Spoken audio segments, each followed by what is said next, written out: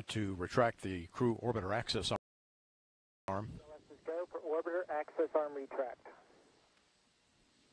Atlantis crew, our team has worked hard, and it's with great pride that we send the first last crew of Atlantis to the International Space Station with the mini research module to be installed. Well put. Teresa Annulis, our orbiter test conductor today from United Space Alliance. Minus seven minutes.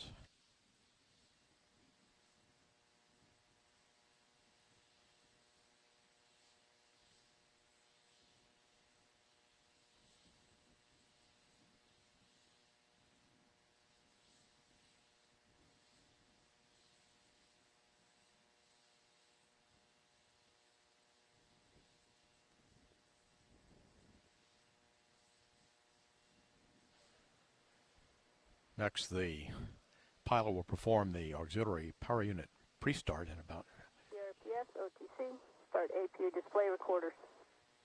CRPS, recorders are running. PLT, perform APU pre-start. APU pre-start inward.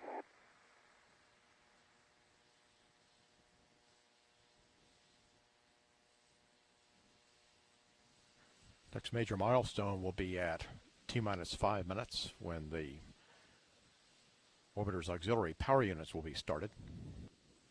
OTC, PLT, APU pre-start complete. Copy.